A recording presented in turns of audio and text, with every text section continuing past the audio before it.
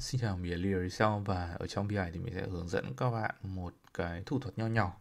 Đấy là làm thế nào để các bạn có thể lấy được tên người nhắn tin cho trang của các bạn từ cái webhook messenger. Thế thì ờ, nếu các bạn đã xem những cái clip trước của mình về làm ờ, chatbot ở trên messenger Facebook ấy, thì ờ, các bạn sẽ không quá là lạ lẫm với cả cái hình ảnh này. Đây là một cái luồng thì chúng ta sẽ có get để xác thực này sau đấy chúng ta sẽ sử dụng post để mà chúng ta nhận những cái tin nhắn từ người dùng. Đây thì mình có thể cho các bạn xem. Đây là cái luồng à, gọi là cái luồng cụ thể cái luồng hiện tại mà mình đang chạy cho cái trang mình nhé thì các bạn sẽ thấy rằng à, đây là cái luồng của chúng ta nhé còn ở trong cái video hôm nay thì cái nội dung nó rất là đơn giản thôi. Đấy là uh, khi mà các bạn nhắn tin đến chẳng hạn nhé bây giờ mình sẽ mình sẽ lấy điện thoại của mình. Đấy, sau bắt đầu mình nhắn tin này mình sẽ vào phần là execution. Sau đấy mình sẽ nhắn cho con bot một cái tin chẳng hạn như là test.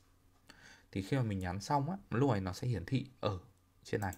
Đây đây là cái tin nhắn mình vừa nhắn nhá. Và đây là cái mà mình vừa mới nhắn cho con bot này. Đây là test. Đấy. Thế thì khi mà chúng ta quay lại đây thì các bạn sẽ thấy rằng uh, cái tin nhắn này của mình này đến đây nó sẽ có cái nội dung là test này đấy sender id là id của người gửi là của mình này. Đấy, recipient ID là cái à, ID của trang này. Đấy, và chúng ta có mes uh, message ID thì tuy nhiên ở trong này chúng ta mới chỉ có được ID của người gửi ID của người nhận nội dung của tin nhắn đúng không? Thường chúng ta sẽ chỉ cần như thế thôi.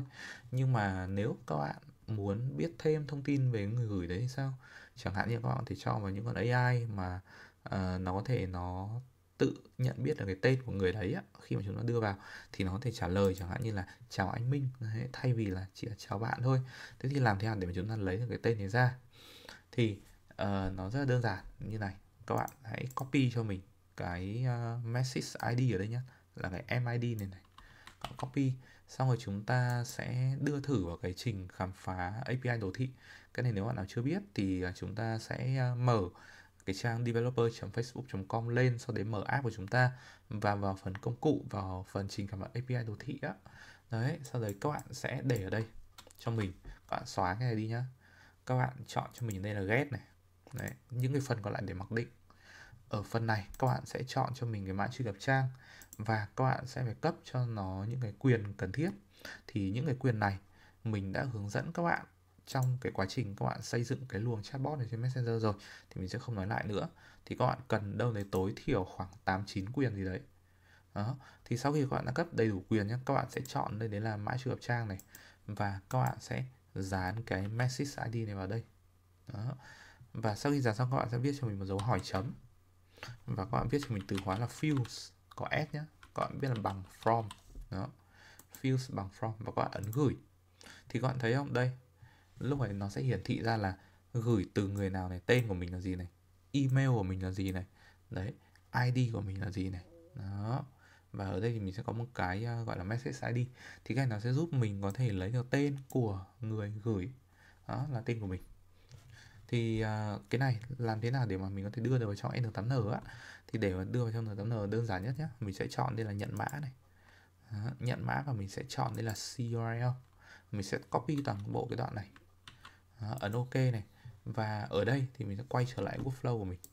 Sau đấy quay trở lại phần editor và mình sẽ chọn đây đấy là ờ, uh, http request. Các bạn có thể sử dụng execute command cũng được. Các bạn có thể sử dụng http request hoặc các bạn có thể sử dụng bất kỳ những cái phương thức nào mà nó hỗ trợ nó có thể uh, giúp các bạn gửi đi cái request. Đấy thì ở đây mình sẽ chọn đây là import CRL và mình sẽ dán nó vào đây thì khi mà mình import xong các bạn sẽ thấy rằng những cái thông tin của mình nó đã được tự động nó đưa vào rồi. Đó. Uh, fill này sau đấy là value from asset token này. Thì cái asset token á sau này khi mà các bạn đã test xong rồi các bạn hoàn toàn có thể vào phần trình gỡ lỗi mã truy cập. Các bạn nhận một cái nó gọi là long live token thì cái token này nó sẽ sống lâu. Thì cái đấy mình cũng hướng dẫn ở trong những clip trước rồi thì mình sẽ không nói lại nữa nhé đó. Còn ở đây cái phần này này cái ID này cái URL này này, nó chính là cái MID nó chính là cái message ID đúng không? Thì bây giờ mình cần phải chạy những cái luồng trước đấy đã. Thì các bạn sẽ thấy rằng cái dữ liệu của mình nó được để ở trong này thì mình sẽ đơn giản là mình xóa cái này đi và mình sẽ kéo cái MID này vào đây. Đó.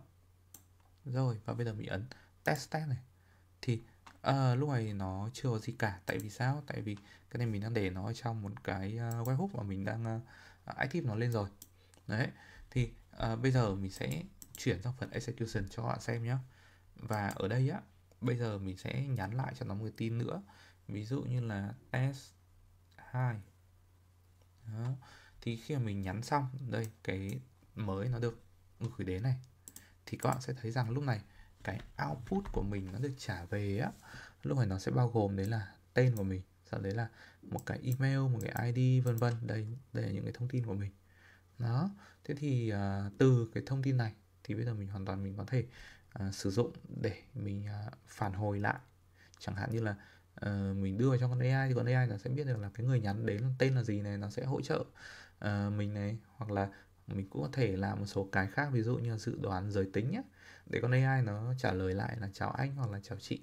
Đấy thì đấy là một cái ứng dụng nho nhỏ một clip ngắn ở trong uh, cái video này để hướng dẫn các bạn cách để chúng ta có thể uh, lấy được cái tên của người gửi khi mà các bạn làm một cái con chatbot messenger.